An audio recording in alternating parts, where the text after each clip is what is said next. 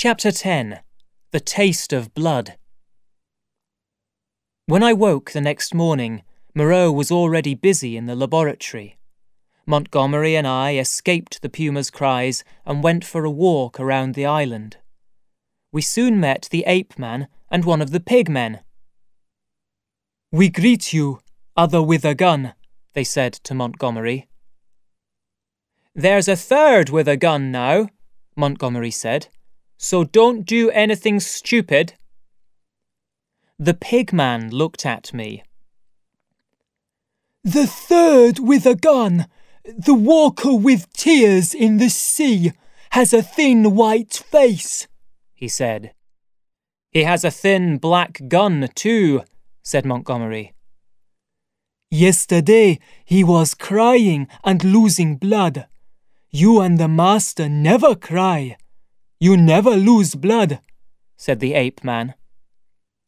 You'll cry and lose blood soon if you're not careful, Montgomery replied. Come on, Prendick. He took my arm and we walked away. The pig man and ape man stood watching us. Men speak, but this one says nothing, said the pig man. Yesterday he asked me about things to eat, said his friend. He didn't know. I did not hear the rest of their conversation, but they were laughing. Later, we saw a dead rabbit, half eaten and without its head. Damn, said Montgomery. What can this mean? He looked carefully at the rabbit's body. I saw something like it on my first day here, I said. Really? On your first day? he asked. Yes, and I think I know the killer too. I can't be sure, but just before I found the rabbit, I saw one of your monsters by a stream. It was drinking like an animal without its hands. Don't drink without cups. That is the law. Are we not men? Said Montgomery with a worried laugh. As soon as they're alone, they forget about the law. And it's worst in the evening they're most like animals when it's getting dark. He stopped to think. But that's interesting, he continued. Meat eaters always like a drink after a kill. It's the taste of blood, you see, salty. Well, the thing at the stream was the same monster that ran after me later on the beach. Will you know him if you see him again? asked Montgomery. He looked around us and checked his gun. I didn't see him very well, but I hit him hard with a stone.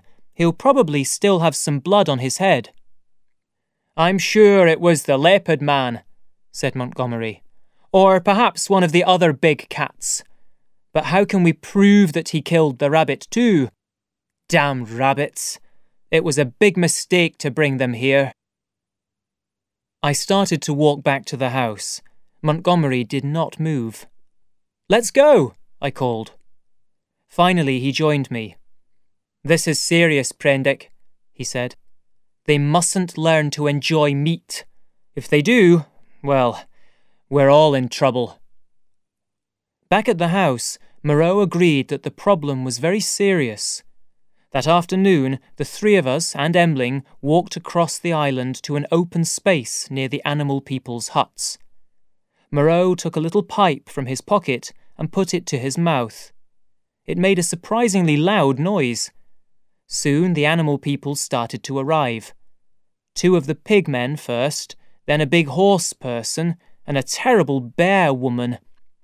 When they saw Moreau, they dropped to the ground.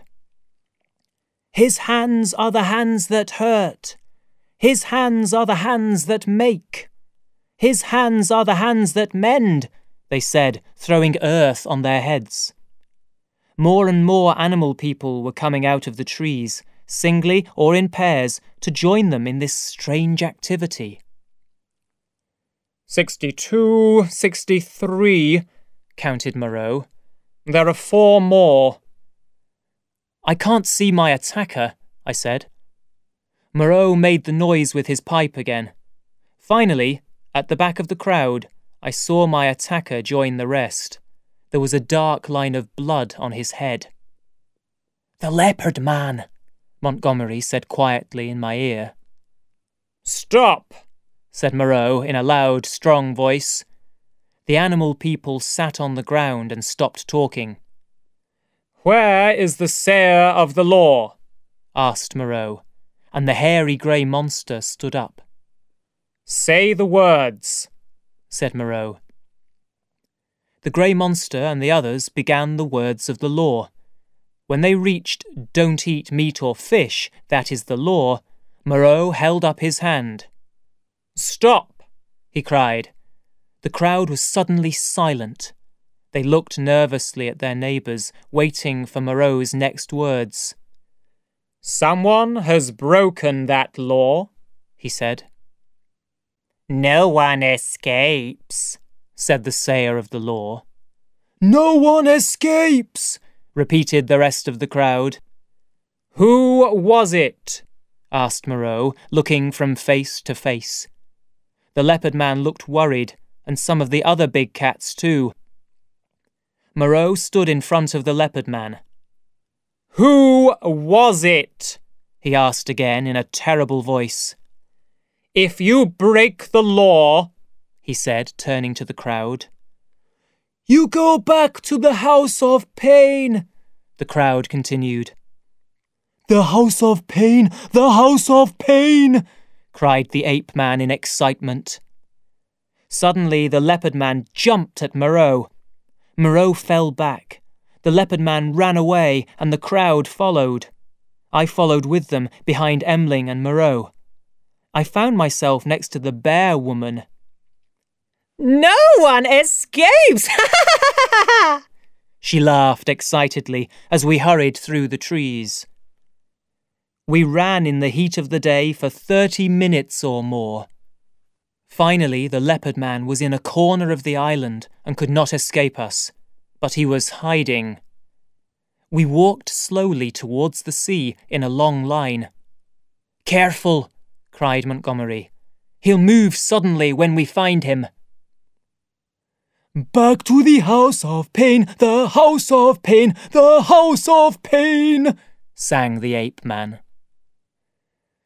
Suddenly I saw a pair of green eyes shining out from under the plants. It was the leopard man. I will never forget the fear in those eyes.